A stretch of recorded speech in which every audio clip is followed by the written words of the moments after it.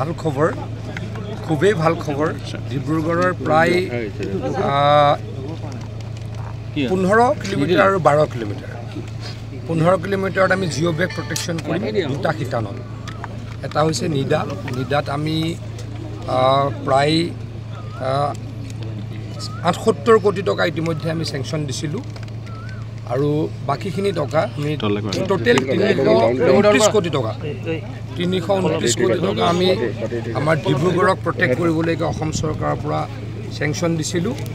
তাৰ আঠসত্তৰ কোটি টকা নিদাত আৰু বাকীখিনি আমাৰ দুশ একাৱন্ন কোটি টকা এ ডি বি স্পনচৰ্ড ফাণ্ডত মুঠৰ ওপৰত আকৌ কৈছোঁ তিনিশ ঊনত্ৰিছ কোটি টকা আমাৰ ডিব্ৰুগড়ক বচাবলৈ আমি যোৱাটো বিত্তীয় বৰ্ষত বৰ্ষত আমি দিবলৈকে সক্ষম হৈছিলোঁ।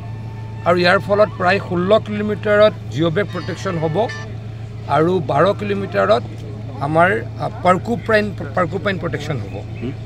এটা বহুত খুব ভাল দিশ যে আমাৰ যিখিনি নিদাৰ অধীনৰ কাম আঠসত্তৰ কোটি টকাৰ যিটো পেকেজ সেই কামখিনি আমাক গুৱাহাটী আই আই টিয়ে এছিষ্ট কৰিছিল। আমাৰ ডিপাৰ্টমেণ্টে অকলে কামখিনি কৰিবলৈ ৰিস্ক ল'বলৈ আমি অলপ ভয় খাইছিলোঁ। কাৰণ ইয়াতে বাৰে বাৰে গৰাখহনীয়া হৈ থাকে। গতিকে দেশৰ এটা আগশাৰীৰ কাৰিকৰী শিক্ষা প্ৰতিষ্ঠান গুৱাহাটী আই আই টিক আমি ছাৰ্ভে কৰিব দিছিলোঁ। তেখেতলোকৰ পৰা আমি যাতে স্পেচিফিকেশ্যন এডভাইচ পাওঁ। তেখেতলোকে ছমাহ ধৰি ছাৰ্ভে কৰিলে। তেখেতলোকে কেনেকৈ জিঅ' বেগ প্ৰটেকশ্যন কৰিব লাগিব দুটা স্পাৰ বনাব লাগিব গোটেই কথাখিনি আমাক বুজাই দিলে আৰ্কিটেক্ট কৰি দিলে আৰু ডিজাইন কৰি দিলে। আমি তেনেকৈ কাম আৰম্ভ আৰম্ভ কৰিবলৈ আৰম্ভ কৰিলোঁ। কিন্তু যিহেতু পানী এবাৰ সোনকালে আহিলে গতিকে কামখিনি আমি টেন ফিফটিন পাৰ্চেণ্টহে কৰিব পাৰিলোঁ। কিন্তু মই আপোনালোকক উদ্দেশ্যি আপোনালোকৰ যোগেদি ডিব্ৰুগড়বাসীক ক'ব খোজোঁ যে ডিব্ৰুগড়বাসীৰ কাৰণে মাননীয় মুখ্যমন্ত্ৰী ডাঙৰীয়াই যোৱা বছৰ তিনিশ ঊনত্ৰিছ কোটি টকা চেংচন দিলে। আৰু অহা খৰালিত গোটেইখিনি কাম খুব ভালকৈ হ'ব পাৰ্মানেণ্টলি হ'ব। আকৌ কৈছোঁ এ ডি বিৰ কামখিনিও খুব ভালকৈ হয়। তাত এ ডি বিৰ টীম অসম চৰকাৰৰ টীম ভাৰত চৰকাৰৰ টীমে গোটেইখিনি কাম চাই চিন্তি কৰে।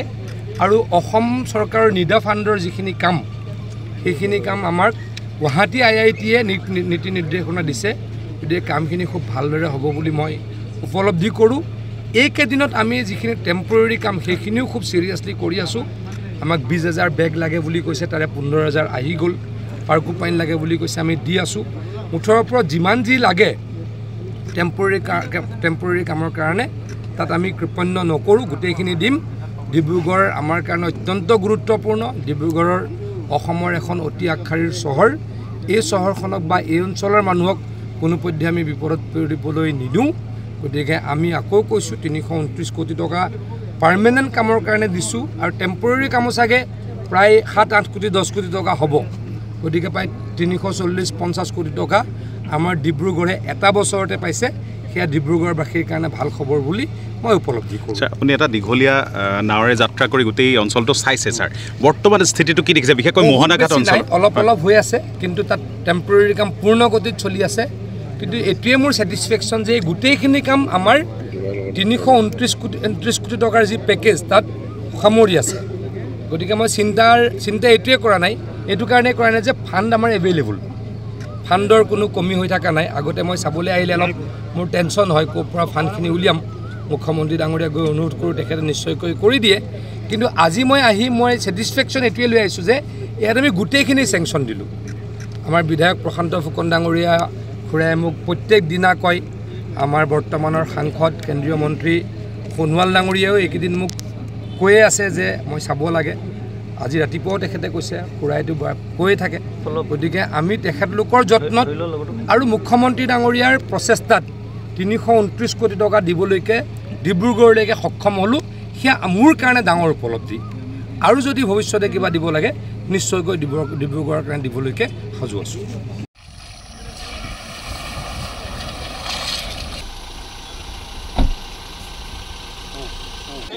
তাৰমানে ডাউন মানে চাইডে চাইডে কিন্তু অকল চাইডে চাইডে হৈ যে পানীটো নাবাগৰি যায় হ'ব বুজিছোঁ মই ইয়াতে যদি আৰু তিনিটা বা চাৰিটা হৈ গ'ল পানীটো। আৰু এইখিনি দি দিব তাৰপাছত বাৰিষা পাছত বানপানী মিনিষ্টাৰ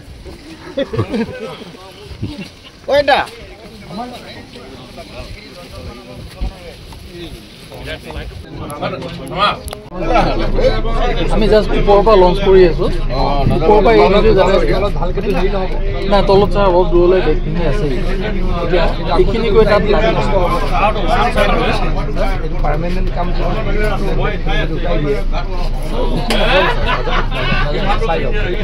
এইবিলাকো ছাৰ এইবিলাকো ছাৰ পাৰ্মানেণ্ট নেচাৰৰে কাম কৰি আছে। এই মথাইটোত লাগি আছে। মই বেগ মই মাৰিব কৈছোঁ। তাৰমানে মই কৈছোঁ পাৰ্মানেণ্ট কামৰ বেগ মাৰাতকৈ টেম্পৰেৰী কামৰ বেগ মাৰি দিয়ে নেকি? সেইটোৱে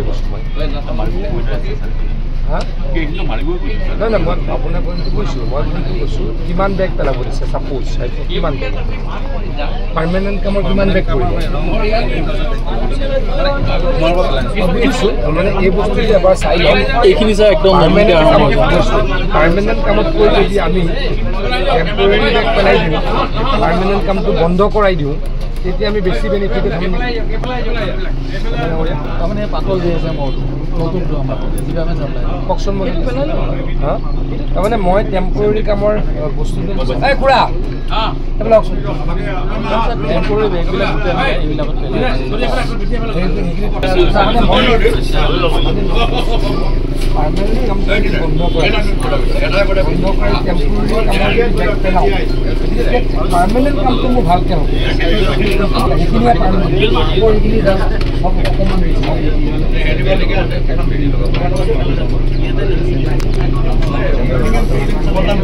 এই গোটেইবিলাক চেংচন আছেতো এতিয়া ডাঙৰ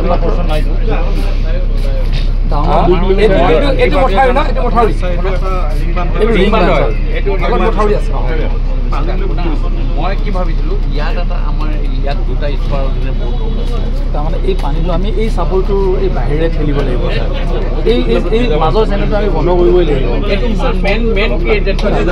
এইটো বন্ধ কৰিব এতিয়া তুমি গ'লে চব দেখিবা